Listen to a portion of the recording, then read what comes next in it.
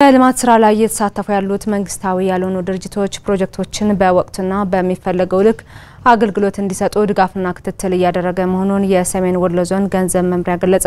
በዞኑ በተለያዩ ወረዳዎች እየሰሩ ላሉ መንግስታዊ ያልሆኑ ድርጅቶች እውቅና ተሰጥቷል። ካሳሁን ኃይለ ሚካኤል ተጨማሪ ይነግረናል። የታዳጊ ሀገራት መንግስታት የህዝባቸውን ችግር ለመቅረፍ በመንግስት ደረጃ ብቻ ተደራሽ ማድረግ አዳጋች በመሆኑ መንግስታዊ ያልሆኑ ድርጅቶች ሚና ጉልህ ነው። ኢትዮጵያም ካሳለፈችው ጦርነትና በተለያየ ጊዜ ከሚከሰተው ድርቅ ጋር ተያይዞ በርካታ ምስቅልቅሎቿን ለማቅለል መንግስታዊ ያልሆኑ ድርጅቶች የመንግስትን ጫና ሲጋሩ ይስተዋላል።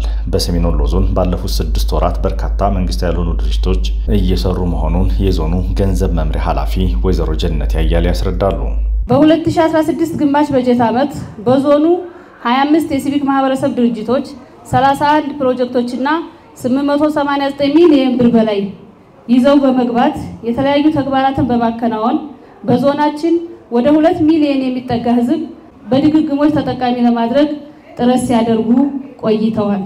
ይሁን እንጂ ዞኑ ከሚፈልገው ሰብአዊና ማህበራዊ ድጋፍ አኳያ አሁን ላይ መንግስታዊ ያልሆኑ ድርጅቶች የያዙት የፕሮጀክትና የገንዘብ መጠን በቂ ያለመሆኑን ነው ወይዘሮ ጀነት የገለጹት። የሲቪክ ማህበረሰብ ድርጅቶች ይዘውት የገቡት የገንዘብ መጠን ካሉብን ዘርፈ ብዙ ችግሮችና ቀጣይ የመልማት ጥያቄ ጋር ሲነጻጸር እዚህ ግባ የሚባል ባለመሆኑ የሚመለከታችሁ የመንግስት አካላት የዞኑን ችግር ተረድታችሁ ተጨማሪ ድርጅቶች ወደ ዞናችን እንዲገቡ በማድረግ ኃላፊነታችሁን እንድትወጡ እያሳሰብኩ የሲቪል ማህበረሰብ ድርጅቶችም ከገባችሁበት ውል በተጨማሪ ሀብት ወደ ዞናችን የማምጣት ስራ ላይ ትኩረት ሰጥታችሁ እንድትንቀሳቀሱ አሳስባለሁ። ዞኑ እውቅና ከሰጣቸው መንግስታዊ ያልሆኑ ድርጅቶች ውስጥ ኤስኦኤስ የህፃናት መንደርና ወርልድ ቪዥን ኢትዮጵያ በዞኑ እየሰሩ ያለውን ማህበራዊ አገልግሎት ነግረውናል። አንጎት ጋዞና ዋድላ ላይ ነው እየሰራን ያለ ነው። ከምግብ ዋስትና ከማረጋገጥ እና የመተዳደሪያ መተዳደሪያዎችን ከማስፋት አኳያ በርካታ ስራዎችን ኤስኦኤስ ችልድረንስ ቪሌጅ ሰርቷል።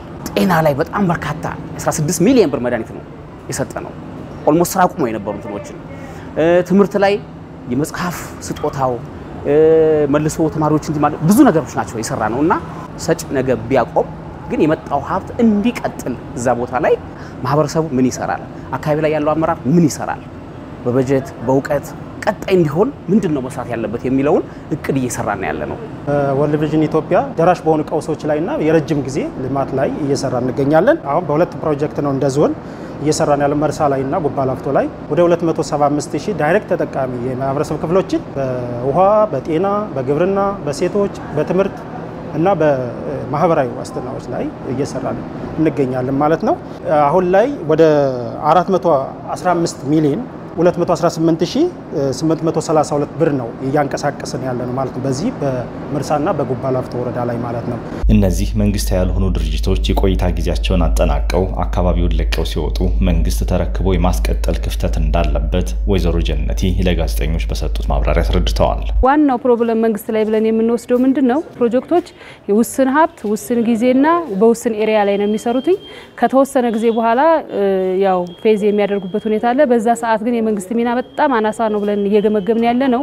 ያ ፕሮጀክት የሚመለከተው ሴክተር ጤና ላይ የሚሰራ ከሆነ ጤና ተረክቦ፣ ትምህርት ላይ የሚሰራ ከሆነ ትምህርት ተረክቦ፣ ግብርና የሚሰራ ከሆነ ምግብ ዋስትና ጋር የሚሰራ ከሆነ ሴቶች ጋር የሚሰራ ከሆነ እሱም ፕሮጀክት ተቀጥሎ ተቀብሎ ከማስቀጠል አኳያ ግን መሰረታዊ የሆነ ክፍተትና ያን ያክል ከዚህ ግባ የሚባል እከሌ ፕሮጀክት ተቀብዬ እዚህ አደረስኩት የሚል ሪፖርት ሰምተን ስለማናቅ ዋና የግምገማ ፓርታችን አድርገን ዛሬ የሚያነሳ ነው። ለዛ ነው በተለያዩ ወረዳዎች ማህበረሰቡን እያገለገሉ ላሉ መንግስታዊ ያልሆኑ ድርጅቶች ዞኑ እውቅና ሰጥቷል።